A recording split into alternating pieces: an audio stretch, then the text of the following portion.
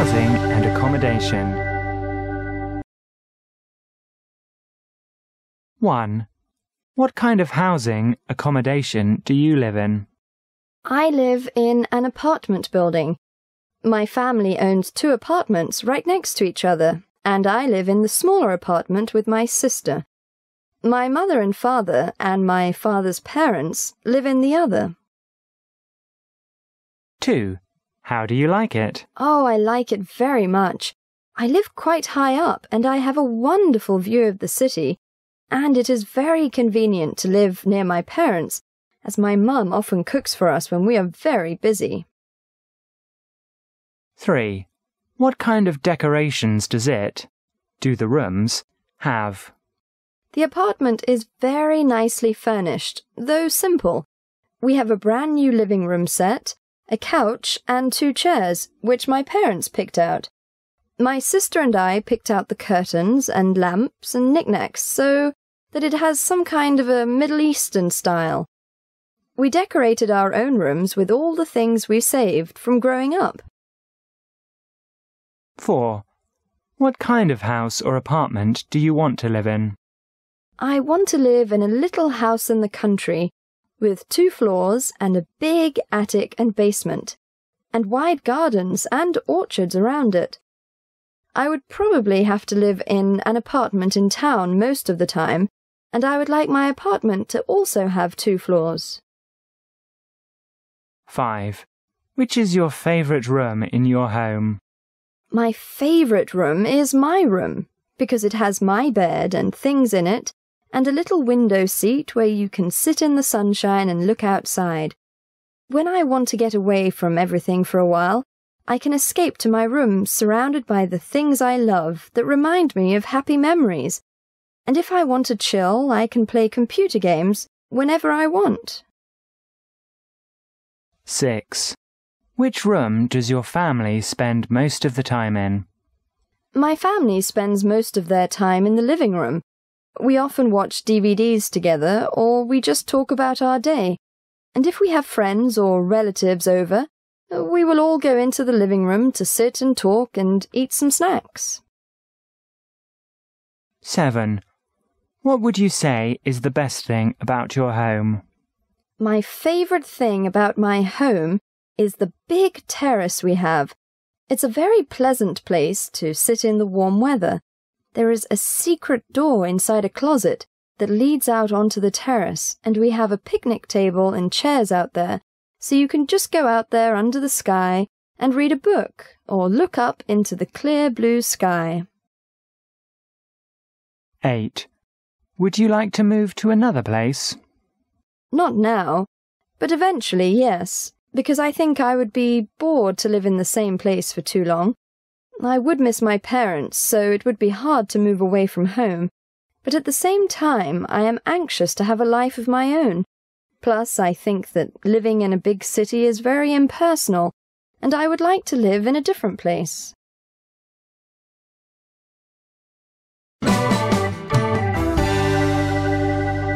Sports and exercise. 1. What is your favourite sport? My favourite sport is definitely soccer.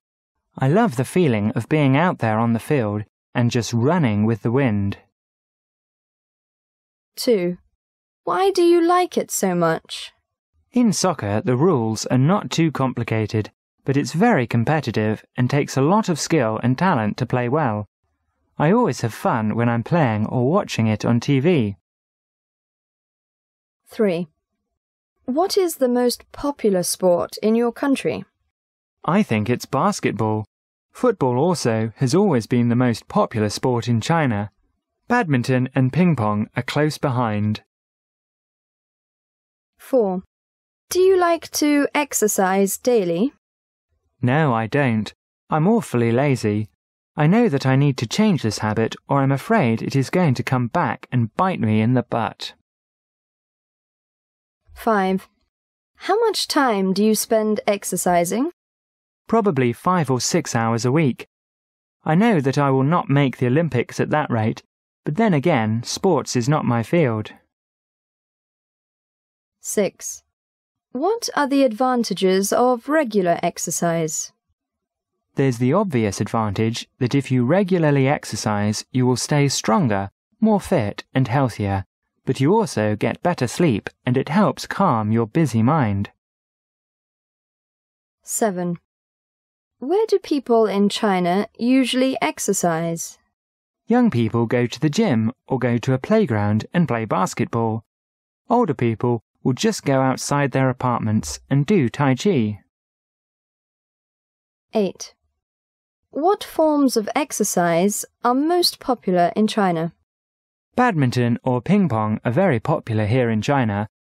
Basketball and football are also very popular. 9. Do you think primary school children should have sports classes at school? I certainly think so, because primary school children have a lot of energy, and if they must remain cooped up at a desk all day, they will not be able to concentrate because they will want to go out and play.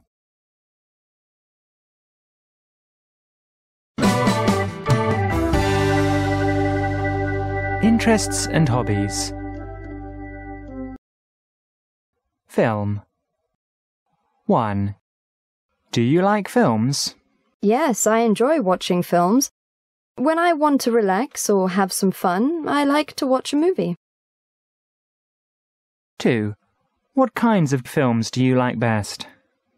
My favourite kinds of films are comedies. I like movies that can make me laugh. 3. How often do you watch films? If there is an interesting movie playing at the cinema, I'll go to see it. It's nice to go out to see a movie with my friends sometimes and get to see it on a big screen. 4. Do you like to watch films alone or with your friends? I'd rather watch films with my friends. We always have a good time together, and afterwards we talk about the movie, whether we enjoyed it or not. 5. Do you prefer to watch films in the cinema or at home? I prefer to watch movies at the cinema, because then you get to see the movie on a big screen, with a better sound system. I think it makes the movie more impressive, you know? Dance 1. Do you like to dance? Yes, I like to dance, because I really enjoy moving to the music. 2.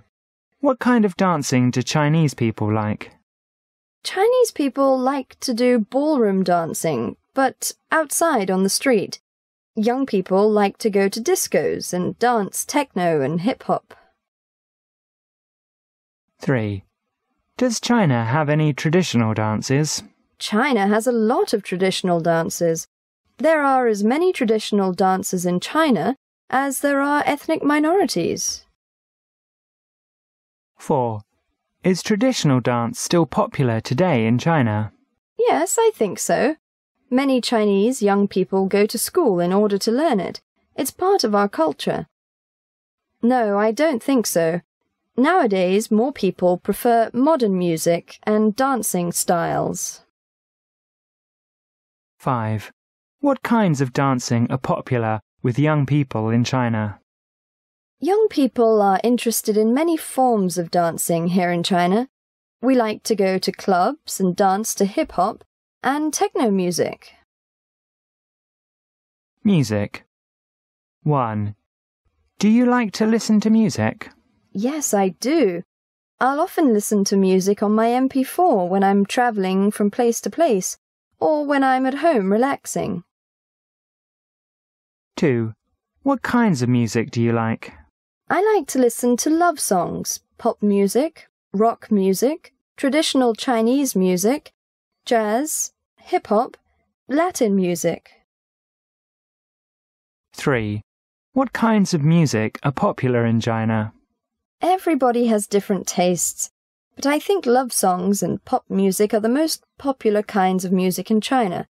Older classics from America and Europe are pretty popular here too. Rap is also getting to be very popular as well.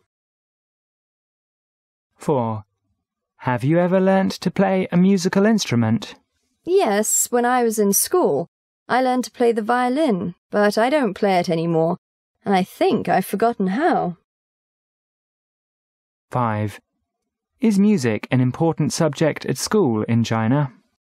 Unfortunately, music is not such a popular subject at school in China. Math and science are much more important in China, although maybe not so popular. 6. What benefits do children gain by studying music or learning to play a musical instrument? By learning how to play a musical instrument, children can learn many things. They can learn self discipline, determination, and how to appreciate music better. Drawing and painting. 1. Have you ever learned to draw? To tell you the truth, I never really had the time to learn to draw. I also really don't have the talent to spend my time drawing. 2. Do you draw now? Yes, I sometimes like to draw. Not only is it a good form of relaxation, but I enjoy creating beautiful things and using my imagination. Even if I can't draw very well, I still enjoy it. 3. What do you think are some of the benefits of drawing for both children and adults? Both children and adults need to use their creativity. Drawing teaches people to look at the world differently, more carefully and thoroughly. It helps people relax and have fun, and it gives you a chance to use your imagination.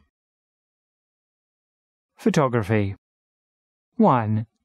Do you like to take photographs? Yes, I like to take photographs. It's great fun. And then afterwards, you can always have the photos and remember the good times you've had.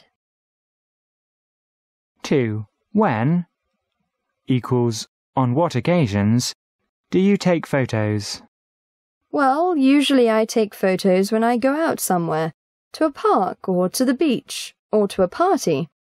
When it's somebody's birthday, spring festival, at graduations, or any other important occasion. I take photos. 3. What kind of photos do you like to take? Mostly I like to take pictures of nature or of beautiful scenery. Also, I like to take silly pictures with my friends. We always laugh a lot and have a good time. 4. Is photography a popular hobby in China? I think so. When Chinese people go out together, they often take photos of each other or of the places they visit. 5. Do Chinese people like to visit photographic exhibitions? You know that I don't really visit photographic exhibitions because they're a little hard to find here in China.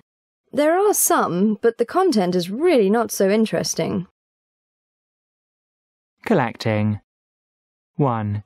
Do you collect anything? Sure. I have a collection of postcards from different countries. 2. Why do you collect that, those things? I collect those things because they are interesting and rare. I like to go over my collection and see all the cool things I've got stored away. 3. Is collecting a popular pastime in China? It used to be, but not anymore. Actually, it is a little hard to find things to collect, except for maybe pictures of Chairman Mao on flags or coffee mugs. 4. Do a lot of people in China collect things? And what do they collect? People in China really don't collect too many things. They're pretty busy with the daily run of things and don't have the time or the resources to collect things. 5. What are the benefits of collecting? Equals. Why do people like collecting? Well, people like to collect things mostly as a hobby, and hobbies are good to have because they help people to relax and get their minds off their jobs or problems they may have.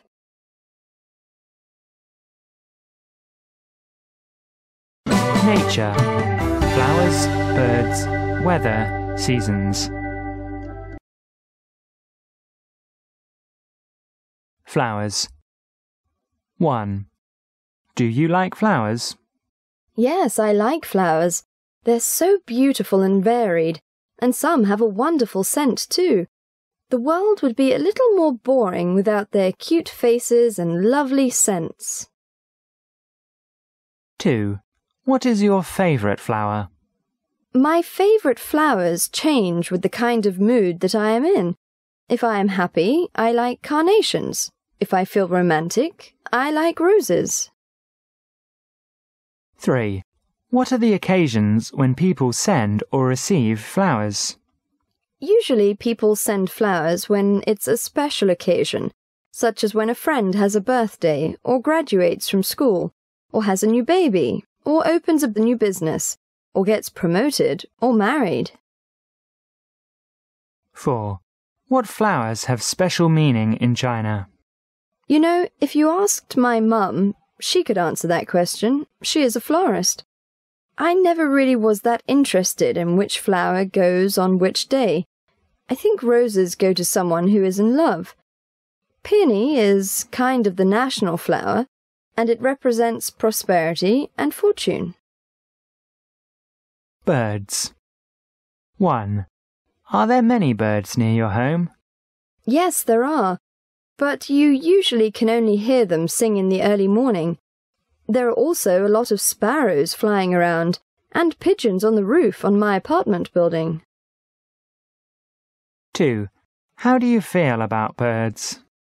I think some birds can be beautiful, and I enjoy listening to their singing. They're so small and sweet.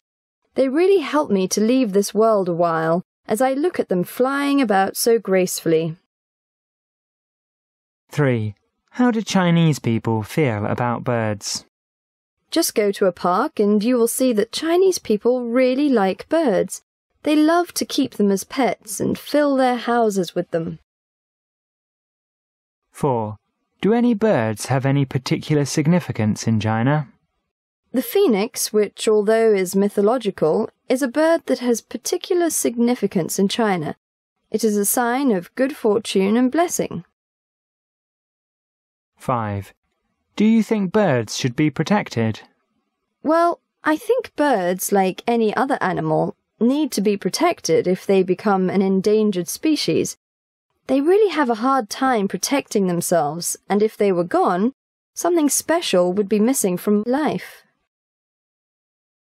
6. How can they be protected?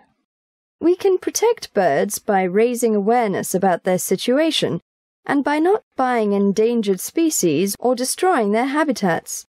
We also need to keep an eye on the environment, which is their habitat. 7. Do Chinese people like raising, keeping, pet birds? Yes, many people like to keep birds as pets, they like listening to the birds sing, and some birds can even be taught how to talk. Birds are great pets. They are so cute and sweet. 8. Is birdwatching popular in China? If people have the time and the money and can get to a location that has a lot of birds, then people will do it, but unfortunately that is not the case here in China. Weather. 1. What is the climate like in your hometown? I live in Chongqing, and the weather there is very wet in winter and extremely hot in summer. The climate in my hometown is generally hot and sunny, hot and rainy, especially during the noon, very dry and dusty, cold and cloudy. 2. Does it rain much here in Beijing? No, it doesn't, and that is getting to be a problem here, with the threat of drought conditions appearing on the horizon. We really need the rain, and sometimes I spend days just hoping the sky will pour down what we so desperately need. 3. Do you like rainy days or sunny days? I like sunny days better than rainy days. Rainy days make me feel sad, and make me feel like not going outside. 4. When, in what month, season, does it rain most in your hometown? My hometown is Chongqing, and it rains mostly in summer, buckets of rain at a time. It is really refreshing when it comes down, and the sound of the rain is magical. 5. Do you think rain is good? Of course, rain is good. Crops couldn't grow without it, and then we would all starve to death. 6. Does rain ever affect transportation in your hometown? If it rains very heavily, then there are often traffic jams because nobody wants to walk or ride bicycles. They all take taxis or cars, and this causes traffic jams. Seasons 1. Which season do you like best? Why? My favourite season is spring because flowers begin to bloom and the weather starts to warm up. 2. What do people do in this season? In spring, because people have holidays, they often like to visit their hometowns or other beautiful places. 3. Do you think the seasons have changed in recent years compared to the past? Nowadays, there are many changes in the seasons. Sometimes the summers are unusually hot, or the winters unusually warm, or the rains come too early or too late.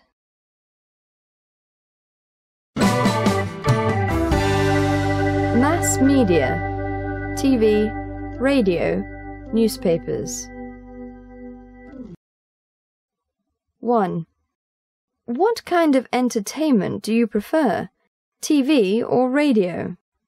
I definitely prefer to watch TV because then you not only get to hear, but to see, and you remember the story better when there's a picture to go with it. 2. What programs do you like to watch, listen to?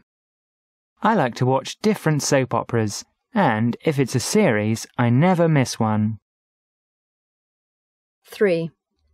How do you think TV, radio, broadcasts in China could be improved? It would be nice to have more variety in both TV and radio here in China. It is getting a lot better now and looks to get even better. 4. Do you prefer TV news or news on the radio? I prefer news on the radio because then I am not distracted by the announcer and his or her presence. I like news on the radio also because of the fact that you can get it more often. On TV, it is limited to certain hours of the day. 5. Do you read newspapers? Yes, I like to read them very much. They are a source of information for me, and I can keep up with my favourite sports team through them. 6. Which section of the newspaper do you like to read? Why? My favourite sections of the newspaper are the sports section and the entertainment section. I like to keep up with personalities and what they are doing. 7. Do you think the internet will replace newspapers one day? Yes, I definitely think so. I think that as more people have access to the internet and computers, paper will eventually become a thing of the past. It's quicker and easier to update web pages on the internet than to print a whole newspaper.